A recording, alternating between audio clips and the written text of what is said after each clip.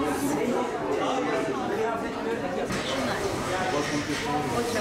Tabii haberleri gördükten sonra biz nasıl yardımda bulunabiliriz, nasıl katkıda bulunabiliriz diye internette biraz araştırma yaptıktan sonra belediye başkanımızın tweetini gördüm. Belediyede işte 28 Ocak saat 17'ye kadar yardım toplanacağını. Ben de evde yardımcı olabileceğim kadar bir miktar topladım. Belediyeye teslim ettim. Kızımdan duydum.